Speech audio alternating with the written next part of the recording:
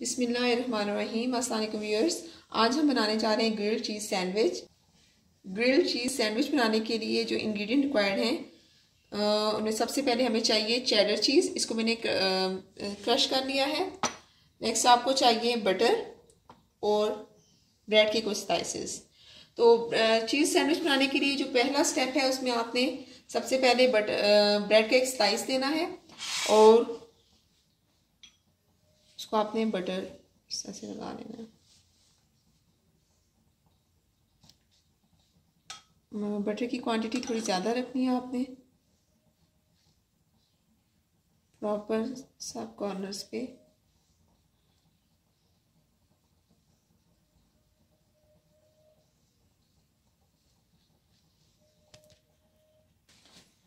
जैसे कि आप देख सकते हैं, मैंने सब स्लाइसेस को बटर लगा दिया है। एक टिप याद रखिएगा कि बटर लगाने के लिए आप बटर को माइक्रोवेव में थोड़ा सा मेल्ट कर लें, ताकि आपको इसका अप्लाई करना इजी हो जाए।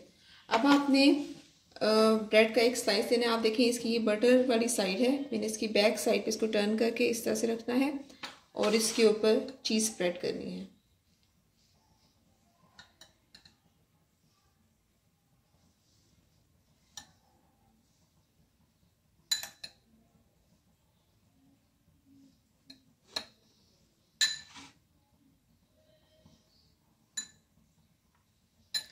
उसके बाद आप सेकंड स्लाइस ऑफ़ ब्रेड लेंगे और इसमें भी जो बटर वाली साइड है, उसको आपने ऊपर रखना है और विदाउट बटर साइड को आपने चीज़ के साथ। अब इसी तरह से दूसरे सैंडविच के लिए भी हम वही स्टेप्स फॉलो करेंगे।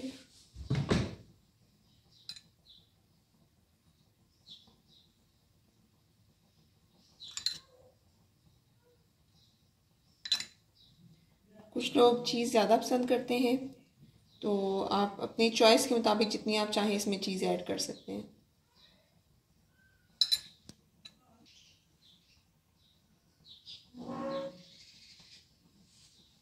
अब हम एक पैन पैन लेंगे। या आप नॉन स्टिक पैन भी ले सकते हैं।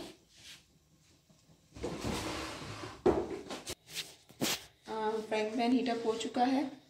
अब हम इसमें बहुत केयरफुली आपने सैंडविच को उठाना है। इसमें प्लेस करना है। आप एक वक्त में एक सैंडविच को भी दे सकते हैं, अगर आप तवे पे फ्राई कर रहे हैं। इनफैक्ट ये फ्राइंग नहीं है बटर हमने लगाया हुआ है, बस इसको थोड़ा सा आपने अब तब तक पकाना है, जब तक कि आपकी ब्रेड क्रिस्पी ना हो जाए।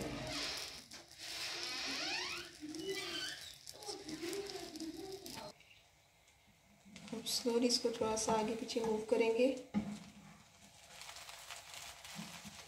थोड़ा सा प्रेस भी करेंगे ताकि चीज़ मेल्ट होने के साथ ही आपके स्लाइस चीज़ के साथ मिक्सअप हो जाए।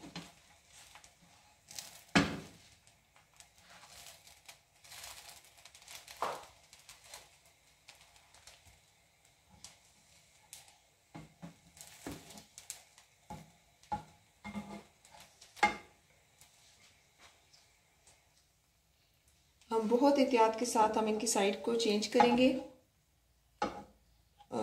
याद रहे कि आपने फ्लेम मीडियम लो रखना है।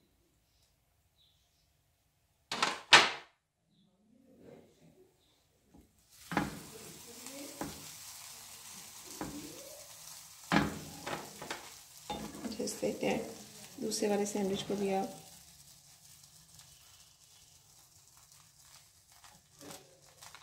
बहुत एहतियात से क्योंकि चीज़ इसमें से अभी फुल मेल्ट नहीं हुई।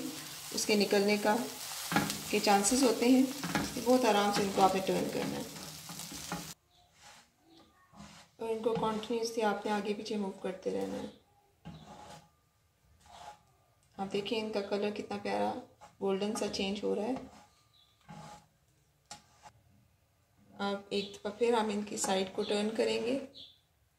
अब देखें चीज़ मेल्ट हो चुकी है, अब ये इसको पलटना इजी है।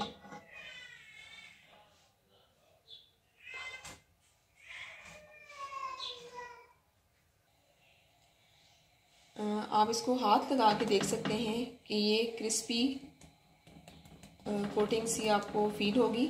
इसका मतलब है कि आपके सैंडविचेस रेडी हैं। अब हम इनको डिश आउट कर लेंगे।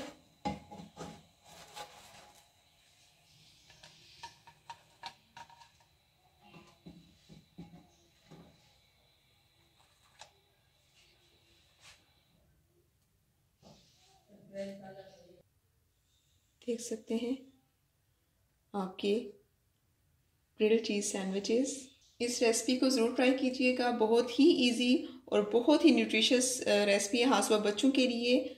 बहुत ही अच्छी चीज़ है। इसको ज़रूर ट्राई करें। थैंक यू अल्लाह हाफिज़।